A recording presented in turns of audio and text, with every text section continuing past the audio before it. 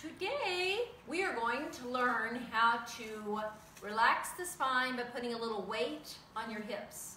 That seems kind of strange, weighting your hips down to make your back feel better. I know, a little strange. All right, so um, people always ask me about inversion tables, you know, the ones where you go upside down and it makes them feel better. And they ask, do they work? Well, they do make people feel more relaxed. And if anything that'll make you feel more relaxed in your spine will give your body this sensory input that the back is not supposed to be tense and holding. So in a way, those inversion tables can make you feel better. They can give you a new sensory input and a new feel and a way to be in your body, which is helpful.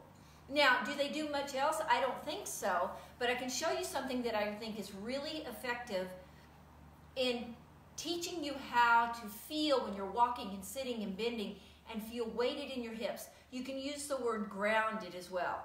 Now, if that kind of is a little weird and too abstract for you, the word grounded, to me that means grounded is like when I watch um, Steph Curry, when I watch him shoot a basket, he's so grounded. I mean, he's really, he's so in his hips, he's so in his legs, and he's so free in his hands. And that's the way your body is designed to feel. It's designed to feel very weighted down in a comfortable sense. And then the spine should be freed up. Something I think very few people ever feel in their adult life because of just the tension we hold because of the lifestyle we live of being so sedentary. So here's my belt. So this is a scuba diving belt I had made. You wear, you know, when you go scuba diving. So I'm going to put it on. And so what you would get, if you have a scuba diving belt, that's, that would be helpful.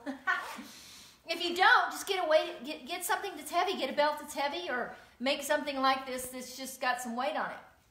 So what I'm doing is I'm placing the weight right here on my bone. So here's the top of my hip bone, and here's the butt. All right. So when I walk around, I can feel that my weight is down in my legs, and it feels really good, like there's somebody taking taking uh, weight out of my back. And then I can automatically go back to my platypus buddy and say, okay, I can go up. I, it's not that I have to press up so much. I just know that my body is designed to weight, be weighted down, relaxed here, and pressing up. So, this is a good thing to know if you wear a work belt.